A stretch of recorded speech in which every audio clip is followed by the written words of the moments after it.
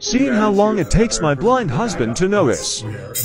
I mean, two blind people noticed each other, you know, walking down the street. I know.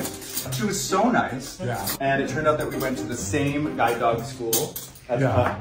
actually, I think we missed each other by just like a few weeks. But we were talking for like 15 minutes and she's like, we need to get a picture. So we had to stop somebody on the side of the street to take our photo. Moving. But later when I saw the photo, the, the woman and I were looking in the wrong direction and our guide dogs were looking right at the camera. Oh, that is hilarious.